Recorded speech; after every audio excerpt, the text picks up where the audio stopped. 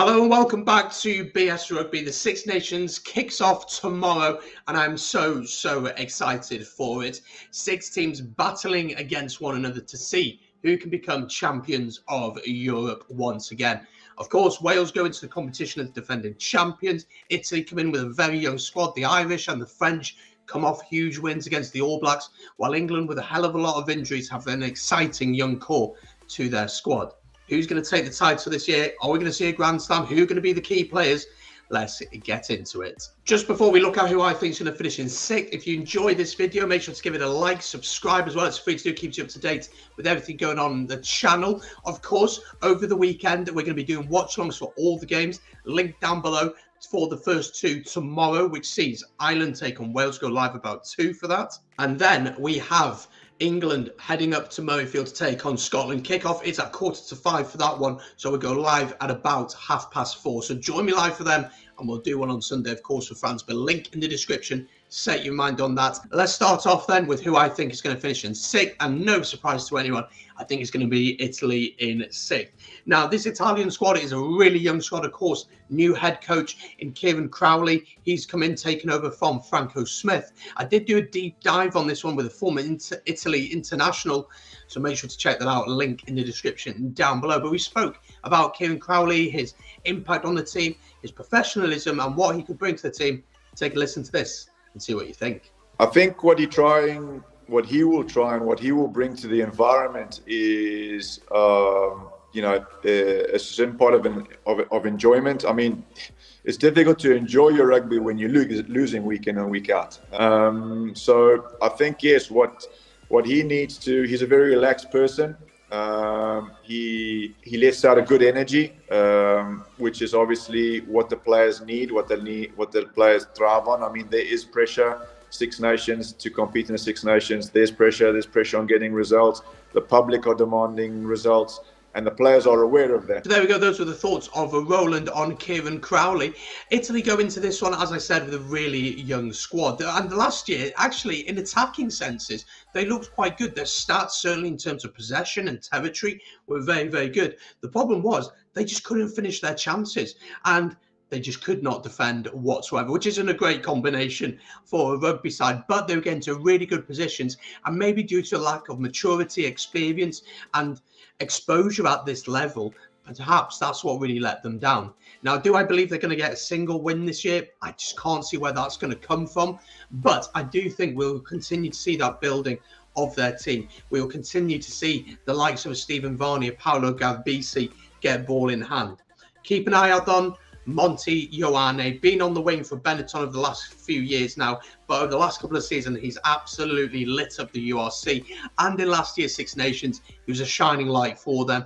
Keep an eye out on him. I think he is going to be an exceptional star for them for many years to come. But I'm going to put Italy in sixth. As always, let me know your predictions in the comments down below. Let's head on then to fifth position. And just before I put my team in here, I would just want to say that I believe that the next five teams could potentially win the Six Nations. That's how tight it is.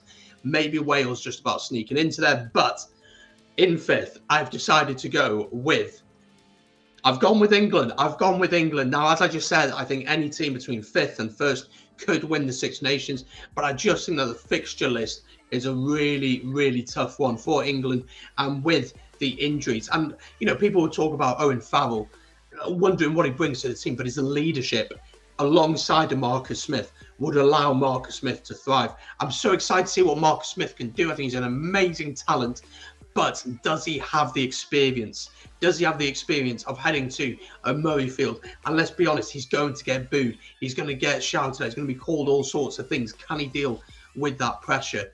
The pressure on the likes of Freddie Steward at fullback, although he excelled in the autumns, there's going to be a lot of pressure on him for sure. The centre partnership, of course, Henry Slade and Elliot Daly not played all that much together. You look on the wing, they put Joe Marchant on there for the first game against Scotland. I just think that the fixture list, the way that it goes for them, having to go to Paris, having to go to Dublin, is just going to affect them a lot. And I do believe, as a Welshman, I've always got to back my boys to beat England. So I think we will go to Twickenham and get a job done there. So I do think that England could win this Six Nations, and that's just a reflection of how tight it is that I have put them down in fifth. But players to keep an eye out on, of course, the big one is Marcus Smith. Huge fan of his. I think he's an extremely talented player. And I do think that his control of the game is getting better, but he is still very, very young. Also, of course, Sam Simmonds, you got to watch him. He's getting the nod at eight in this competition, it seems. He scored like 70 tries in 120 games in the Premiership from number eight, which is absolutely ridiculous. But make sure to keep an eye out on England this year. They could surprise a few people or it could be a tough old season. Let's move on to the team that I believe that's going to finish in fourth, and that is us, the Welsh. I'm going to put Wales in fourth.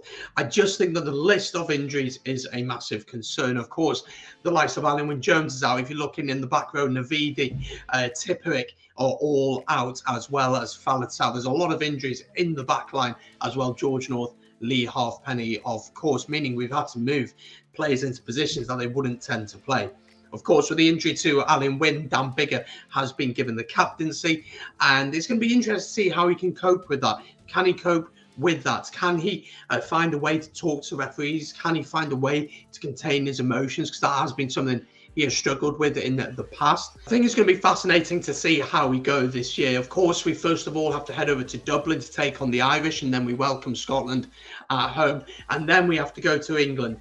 Then we have to welcome France, and then we finish with Italy. It doesn't get easy throughout the tournament at all. But during the Six Nations, of course, the big thing is momentum. Can you get that momentum to be able to ensure that then you can go into the next game, you're confident, your players are fit, you can then go on to there.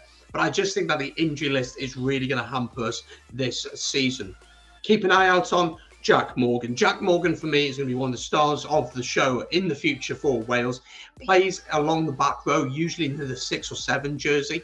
He has the highest number of tackles in the URC and also the highest number of turnovers. So at the breakdown, He's an absolute menace. Keep an eye out on him. In third place, I have gone with the Scots. I think Scotland have an absolute ability to win this competition. Absolutely, they do. It seems like a lot of their players are now coming into their prime. You look at the likes of Hogg, Finn Russell coming into their prime, Hamish Watson as well, uh, Johnny Gray, of course. There's a lot of great players in this Scotland team. And to be honest, from 1 to 15 is pretty strong all across the board.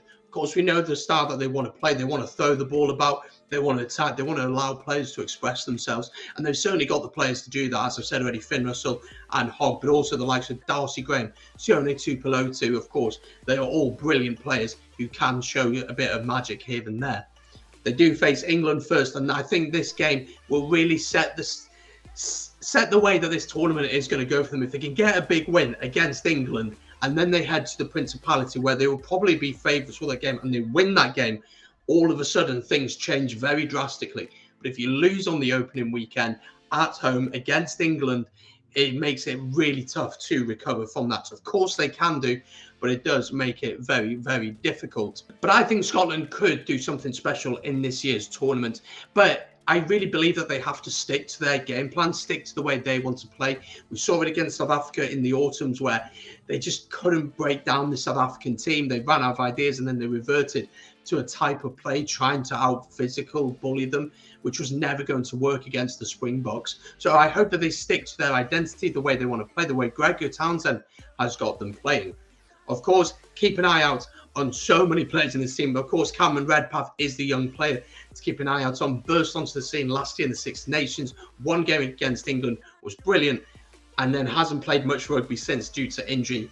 And also, someone who's a little bit older but will have a chance to earn his first cap is Ben Vellacott, a scrum half playing at Edinburgh. He's been lighting up the URC this season. He's fast, he's dynamic. He'll take him tap and go whenever he gets the opportunity to do it and he'll speed up the game. So do keep an eye out on him. Scotland fans, I'll be really eager to hear your predictions for the Six Nations in the comments down below. Let's head over to the Irish then. How do I see Ireland going? Well, I think they are going to finish in second this season. Of course, had a fantastic autumn, and we really saw that evolution of the way they wanted to play.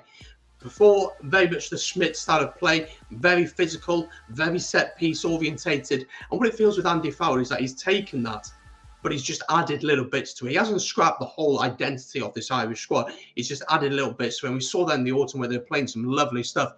Puts in over 60 points on Japan, putting 40 points on Argentina, beating the All Blacks as well. And also they beat England pretty comfortably in last year's Six Nations. So it seems to be that they've been building and building towards this. Of course, they have a host of incredible players, and the big player, of course, for them is Sexton at 10. He's going to want to control things. A lot of people say he's getting too old for it. I completely disagree. If he's still performing at the level required, then he deserves to be in there. Of course, he is captain. But a couple of youngsters to keep an eye on. James Hume in the centre. He's been on amazing form for Ulster this season. He played against Clermont in Europe was ridiculous. Played against Leinster in the URC in a derby where we saw Ulster win at Leinster for the first time in so long. He was exceptional that day, getting the winning try. So keep an eye out on him. He's a really exciting player. And the other one, of course, is Mack Hansen down at Connacht. Born in Australia but came to Ireland and is now eligible to play for the country. He has been on exhilarating form for Connacht. Plays on the wing, very quick, very loose, and will look to attack whatever opportunity he gets. And interestingly, he starts on his debut against Wales on Saturday at the Aviva. What a game to kick off. And so that, of course, means that I believe that France are going to win the Six Nations this year. I do believe they're going to do it. Now, first thing to caveat with the French, there's always this thing about you don't know which French team is going to turn up. And there's an element of truth to that for sure. You know, there were moments in last year's Six Nations, like against Scotland, where they just needed to kick the ball off just get rid of it and you win the game. And for some reason, that just didn't compute with them and they didn't do that. But then they had moments of brilliance, like we saw in the autumn where they tore New Zealand apart. Ntamack almost scored the greatest try I've ever seen in my life when they ran from their own 22. But we saw some brilliant tries, like Penaud. And of course, we've got to talk about him. It's Antoine Dupont, the best rugby player in the world currently, in my opinion one World Player of the Year. He's been in absolutely exceptional form. He has been injured of recent times. He's only played one game since December, I believe it is. He played for Toulouse last weekend. Of course, he will start. They actually have a very kind fixture list to an extent.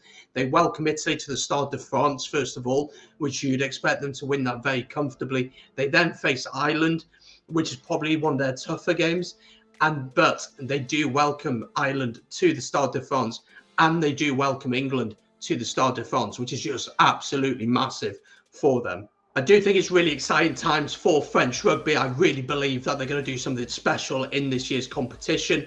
I also believe that they have the right mindset on building towards the World Cup. We've seen the process under Galthié and it's bearing fruit. It really is bearing fruit. And you've got to credit them for being patient with these players who are so successful at under 20 level and giving them the opportunity to shine at the top level. So there we go. That is my predictions for the Six Nations 2022. I don't believe there's going to be a Grand Slam.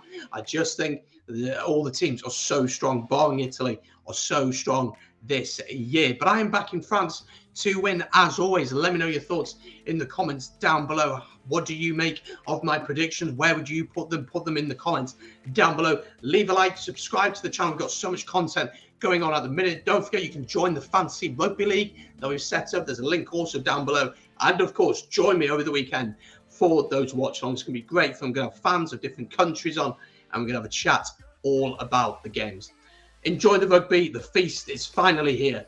Enjoy the Six Nations. Thanks for watching.